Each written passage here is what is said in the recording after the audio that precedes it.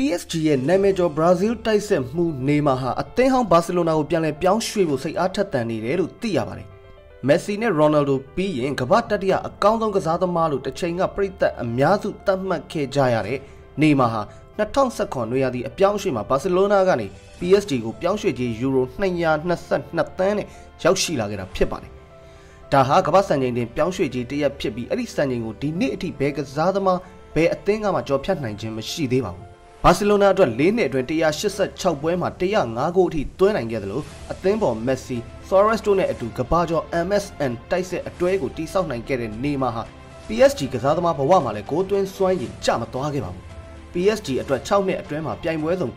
183ပွဲပါဝင်ကစားခဲ့တဲ့နေမာဟာကိုယ်တိုင်118ဂိုးသွင်းယူနိုင်ခဲ့တဲ့အပြင်အသင်းဘော်တွေကိုလည်း89ဂိုးတိတိဖန်တီးပေးထားနိုင်ခဲ့ပါတယ်။ဗျမ်းမြအပြင် PSG အတွက်သူကစားပေးခဲ့တဲ့ပွဲတိုင်း သွင်းကိုဒါမှမဟုတ်ဂိုးဖန်တီးမှုတစ်ခုခုရှိနေတဲ့သဘောပါပဲ။ဒါပေမဲ့သူ့ရဲ့ပြဿနာကဒဏ်ရာနဲ့တခြားအကြောင်းတရားတွေကြောင့် PSG ရဲ့ပွဲစဉ်တွေကိုမကြာခဏလွဲချော်နေခဲ့တာပဲဖြစ်ပါတယ်။နေမာရဲ့ PSG ကစားသမားဘဝဖြတ်တန်းမှုကိုပြန်ကြည့်ရင်ဗျမ်းမြအပြင်တရားဒီပွဲ30လောက်ပဲကစားနိုင်ခဲ့တာကိုတွေ့ရပါတယ်။ဒါဟာအရန်တော့မနှဲဘူးဆိုပေမဲ့နေမာလိုအသက်အရန်မကြီးသေးတဲ့ကမ္ဘာအဆင့်ကစားသမားတစ်ယောက်ဟာတရားဒီကို45ပွဲပွဲ90လောက်တောင်းတောင်းပြီးကစားနိုင်ဖို့လိုပါတယ်။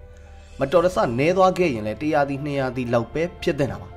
နေမာကတော့ PSG ကစားသမားဘဝမှာနှစ်တိုင်းကိုလွဲချော်နေခဲ့တာဖြစ်ပါတယ်။ဒါကြောင့်သူ့ရဲ့ကြိုးပမ်းအားထုတ်မှုအသင်းအပေါ်ပေးဆက်ကစားလိုမှုအပိုင်းကို PSG တာဝန်ရှိသူတွေကရောပရိသတ်တွေကပါတန်တရားရှိလာကြပါတယ်။ PSG ဘက်ကနေမာကိုပြန်လည်ရောင်းထုတ်ဖို့ကြိုးပမ်းမှုတွေရှိခဲ့ပေမဲ့ဒီကစားသမားရဲ့ဒဏ်ရာရလွယ်မှုအသင်းအတွက်ရာနှုန်းပြအာယုံစိုက်မပေးဘူးလို့ယူဆကောင်းယူဆလို့ရနိုင်မှုတွေကြောင့် အသင်းကြီးတွေကယူရိုတန်းရာခိုင်နှန်းလောက်အသုံးပြုပြီးနေမာကိုခေါ်ဖို့လက်တွန့်နေခဲ့ကြပါတယ်။ဒါကြောင့်နေမာဟာ PSG မှာပဲဆက်ရှိနေခဲ့တာပါ။အခုဒီအပြောင်းအရွှေ့မှာတော့နေမာဟာအသင်းကနေထွက်ခွာဖို့အားထုတ်ကြိုးပမ်းလာခဲ့ပြီဖြစ်ပါတယ်။သူ့အနေနဲ့အပြောင်းအရွှေ့ကာလမပြီးဆုံးခင်မှာအသင်းကနေထွက်ခွာလို့ကြောင်းနေမာဘက်က PSG တာဝန်ရှိသူတွေကိုတရားဝင်အကြောင်းကြားထားပြီလို့နာမည်ကျော်ပြင်သစ်သတင်းဌာန